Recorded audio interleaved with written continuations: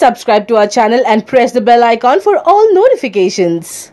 The trailer of Disney's live action Dumbo is out, and you might need tissues for this was one. Disney on Wednesday released the first full length trailer of Dumbo, and is full of love, cuteness, strategy, and most importantly, magic. One look at Dumbo, a baby elephant with enormous ears, and you will surely fall in love.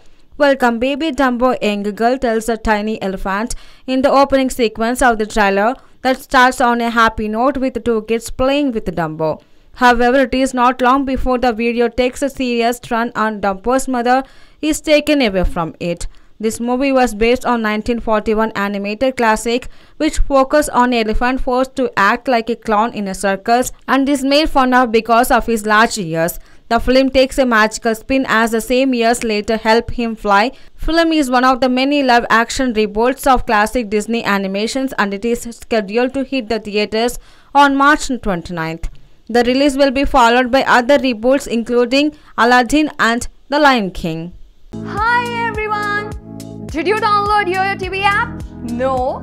Then go and download from your Play Store where you will get news and entertainment masala. So go hurry up and download it YoYo TV app.